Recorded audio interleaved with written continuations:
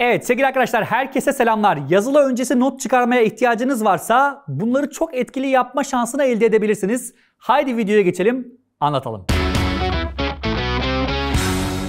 Evet sevgili arkadaşlar her yerde olduğu gibi burada da özellikle sınav öncesinde önümüzde ne var şöyle görmek bizim için çok çok önemli. Neden böyle söylüyorum? Çünkü bazı arkadaşlar konu yükü çok olduğu için sınav öncesinde ben iyi bir not almalıyım diyerek mükemmeliyetçi kimliğini öne çıkarabiliyor ve mükemmeliyetçi kimlik öne çıkınca maalesef her şeyi ezberlemeye çalışıyoruz.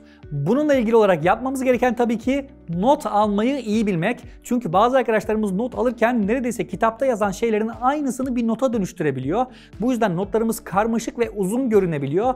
Bu da tabii ki bizim çalışmalarımızın güzel olmasını engelleyecektir. Sevgili arkadaşlar bunlarla ilgili tabii ki bazı tespitlerimiz var. Bunun ilk maddesi büyük resmi görmekti. Ne yapacağız? Öncelikle sınav öncesi çalışacağımız konuyla ilgili olarak büyük resmi görmemiz lazım. Yani bizler hangi konulardan sorumluyuz ve bu konular totalde ne kadar? Bunları yaptıktan sonra gelelim ikinci maddemize. Sevgili arkadaşlar ikinci maddemizde tablolar yapmak var. Yani bunları bir grafik olarak düşünebilirsiniz. İsterseniz merkezden çıkaracağınız oklarla baloncuklar halinde yapacağınız tablolar olabilir. İsterseniz bir soy ağacı gibi düşündüğünüz ana maddeleri yukarıya yazarak alt başlıkları da altlarına tablolar oluşturacağınız şekilde dağıtabileceğiniz tablolar oluşturabilirsiniz. Örnek veriyorum 15-20 sayfalık bir yerden sorumluysanız eğer ve bunlar türlü başlıklardan oluşuyorsa öncelikli olarak yapmanız gereken şey birinci sayfanın birinci maddesinden başlayarak ezberlemek olmak yerine bununla ilgili olarak yapmanız gereken öncelikli olarak ana başlıkları yazmak ve alt başlıkları da altına tablolaştırmak.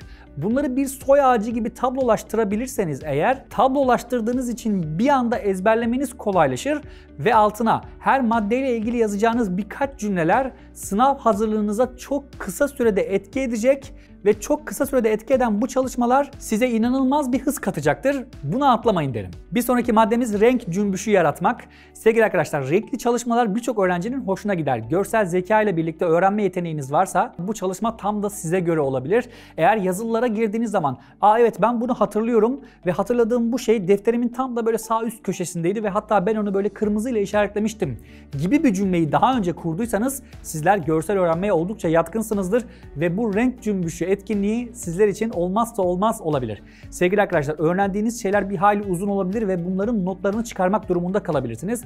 Eğer her paragrafı farklı bir renkle yazabilirseniz ve bunları gözünüzün önüne getirdiğiniz zaman adeta renklerden oluşmuş bir paragraflar ordusu karşınıza çıkıyorsa işte bunları da özümsemek bir o kadar kolay olacaktır. Çünkü zihniniz renkleri gruplandırdıkça o renklerin içerisindeki bilgileri de zihninizde ayrı ayrı gruplandırır. Bu da öğrenmenizi kolaylaştırır. Evet sevgili arkadaşlar bir sonraki maddemizde hocam aldığım notlar çok oldu ve bunların çok olması bana karmaşık görünüyor. Bunlar için ne yapabilirim diyen arkadaşlara da bir tavsiyemiz var tabii ki. Sticker, post-it gibi renkli kağıtlar kullanabilirsiniz. Bunları alacağınız notlar birden fazla post-it'in oluşmasını sağlayabilir ve tabii ki bunların da sayısının fazla olması bunları bir istasyon çalışması yapmanıza dönüştürebilir. Çalışma masanızın, odanızın veya evinizin farklı bölümlerine grupladığınız bu ufak kağıtları yapıştırırsanız ve çalışmalarınızı yaparken her bir istasyonda vakit geçire geçire bu çalışmalarla alakalı bir turlama yapabilirseniz bulunduğunuz her noktada yapacağınız çalışmalar bu karışıklığın giderilmesini sağlar